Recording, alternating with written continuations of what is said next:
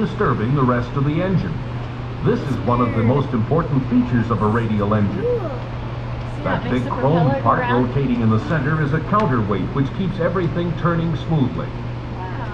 We color-coded the inside of our engine to show some of its functional areas. These are labeled in photograph B. The air and gasoline mixture enters the cylinders during the intake stroke through the blue-colored areas. The mixture is next compressed by the piston and ignited by the spark plugs. Combustion takes place in the red-colored chamber, heating and expanding the gas mixture and driving the piston toward the center of the engine. This is the power stroke. On the return stroke, the piston forces the exhaust gases out of the cylinder through the orange-colored exhaust ports.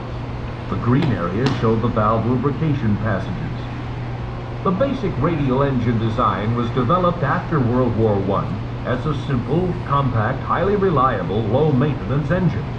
Subsequently, radial engines proved so successful that they were used in many different kinds of aircraft. For instance, during the 1930s, 90% of all American